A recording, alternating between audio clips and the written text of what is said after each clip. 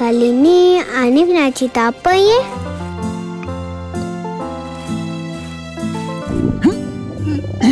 Abang memang macam tu. Selalu sakit perut pagi-pagi. Anif, tengokkan roti bakar tu eh.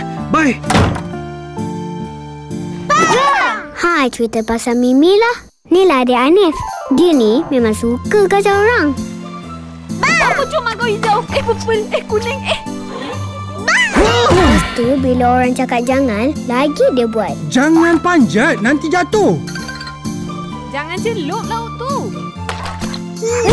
Jangan lari. Tukar diaper. Hei, eh, Tapi kan ada sekali tu...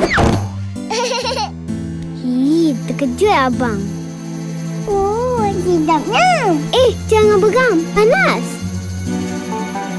Mimi, jangan. Abah, jap Anif. Alamak, macam mana ni? Nenek, kalau tangan melecur, nak buat apa? Wah, betul orang tua-tua ada banyak. Sapu minyak gamak boleh, ubat gigi boleh, tepung boleh, mentega boleh, telur pun boleh, cu. Okey, tahan sikit ya Mimi.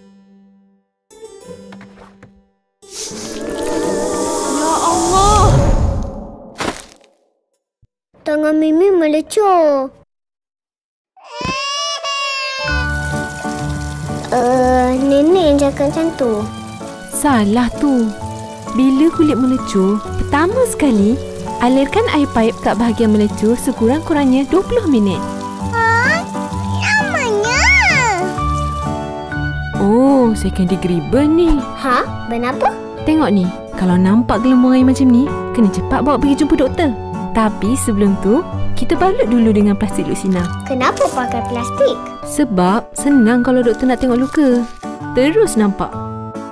Ha, dah dah. Jom pergi klinik. Mana Abah? Oh, lega. Hmm? Uh, apa yang jadi? Sejak tu, bila Anif cakap benda panas dia, Mimi terus dengar. Tapi apa pun kami semua tetap sayang Mimi. Malika, Malika. Mimi, jangan lari. Pakai diaper. Ah.